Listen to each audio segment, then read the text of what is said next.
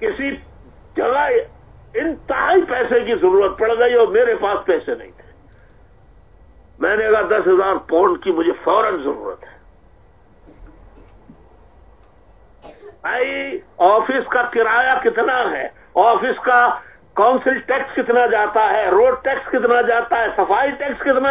ایک خرچہ نہیں ہے بھائی۔ لاکھوں خرچے ہیں۔ بجلی، گیس کا بل، یہ، وہ۔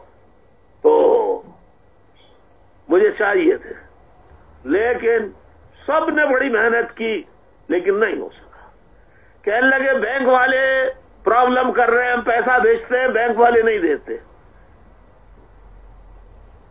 مجھے بہت پریشان کی کیفیت میں دیکھ کے افتخار ایک لفافہ لے کر آیا افتخار ایک لفافہ لے کر آیا اور اس نے مجھے دیا کہ یہ رابطہ کمیٹی نے دیا ہے، یہ گلک کے پیسے ہیں۔ میں نے کہا، کون سے گلک کے پیسے؟ کہنے لگے، کچھ لوگ بینک میں نہیں بھیجتے، وہ آفس آتے ہیں تو کوئی دس پاؤنڈ، کوئی پندرہ پاؤنڈ، کوئی بیس پاؤنڈ، کوئی پچیس پاؤنڈ، کوئی تیس پاؤنڈ دے کے چلا جاتا ہے۔ تو اس میں تقریباً کوئی ساڑھے سات سو، آٹھ سو پاؤنڈ تھے۔ اور میں نے لیا میں نے کہا، یہ تو لے کے جائے یہ تو ارجنٹ بھر دے بل، جا کے۔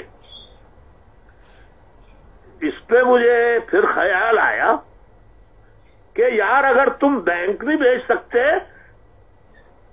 یو کے والوں تو یہ تو کر سکتے ہو کہ ایک دن، کسی دن بھی ایک گھنٹہ اگر آنے کا لگے گا، ایک گھنٹہ جانے کا لگے گا بیس پچیس پاؤنڈ گلک میں ڈال کے اپنا نام لکھوا کے رسید لے کے چلے جاؤ۔ یہ بھی نہیں کر سکتا تم لوگ۔ تم لوگ کہتے ہو جان دے دیں گے۔ تم لوگ یہ بھی نہیں کر سکتے۔ اگر تم یو کے والو، تم امام سے اپنی ذمہ داری دس، پندرہ، بیس، پچیس تیس پاؤنڈ میں نے کہا، ایک ایک پاؤنڈ جمع کرو۔ خدا کی قسم، کوئی مشکل کام نہیں ہے۔ ایک ایک پاؤنڈ جمع کرو۔ ایک ایک پاؤنڈ جمع کرو۔ ایک ایک پاؤنڈ جمع کرو۔ تیس پاؤنڈ ہو جائیں گے۔ یار، پتہ بھی نہیں چلے گا۔ جیب پہ بوجھ بھی نہیں پڑے گا۔ اگر تم لوگ سپورٹ صرف یو کے والے کریں، تو میرے آفس کا خرچہ تم لوگ نکال سکتے ہو۔ اور میں آج پوری دنیا کے ساتھیوں کو بتا رہا ہوں۔ جو بھی جہاں جہاں ہم نے سیکورٹی کے انتظامات کر کیے ہیں، میرے پاس پیسہ نہیں ہے، میں ساری سیکورٹی ہٹا رہا ہوں۔ اور اگر میں مار دیا جاؤں، تو بس دعائیں خیر کرنا میرے لیے۔ میں اور کچھ نہیں کر سکتا، میرے پاس پیسے نہیں ہے دینے کے لیے۔ میں سیکورٹی ہٹا رہا ہوں اپنی۔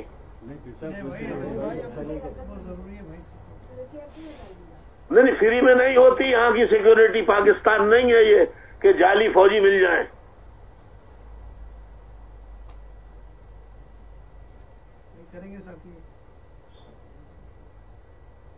نہیں نہیں خالی یو کے والوں کا آپ کی ذمہ داری نہیں ہے امریکہ والے۔ امریکہ والے کہتے ہیں ہم نے دس ہزار پاؤنڈ جمع کر لیے تھے ہم نے بیس ہزار کر لیے تھے وہ بینک والوں نے واپس کر دیے۔ ابے بھائی پانچ پانچ ہزار۔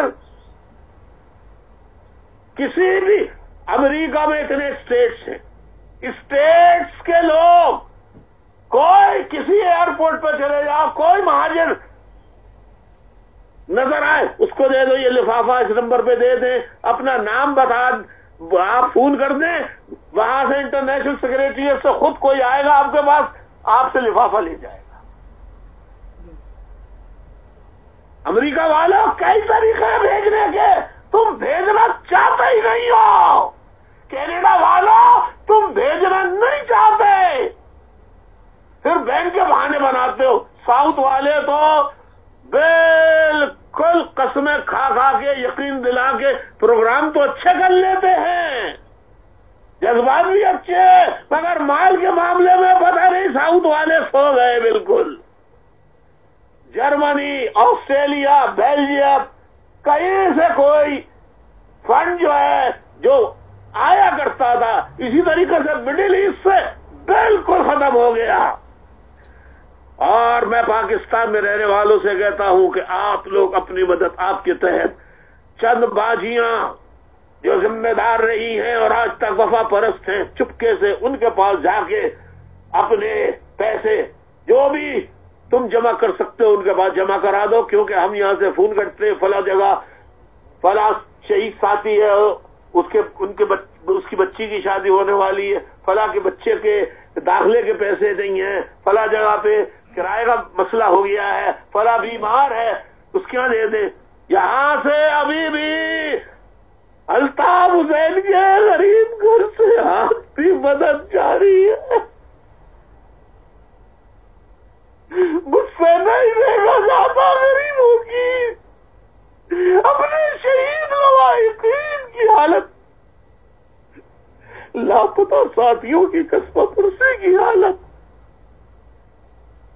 مجھ سے نہیں دیکھی جاتی میں چیزیں، ساتھیوں سے قسم کھا کے پوچھ لو میں چیزیں بیچ بیچ کے۔ آج بھی برداشت کا سلسلہ میں نے جاری رکھا ہوا ہے۔ ایک مکان بیچا، دوسرا مکان بیچا۔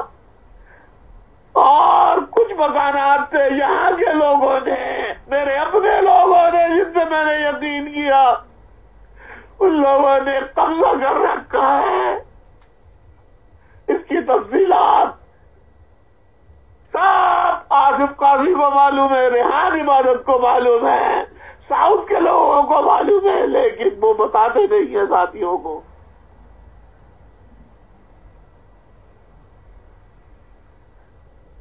ایک مکان بیچا وہ ختم ہو گئے پیسے دوسرے مکان بیچا اس کے خود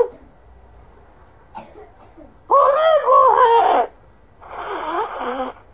ختم نہیں ہوئے لیکن ہونے کو ہے۔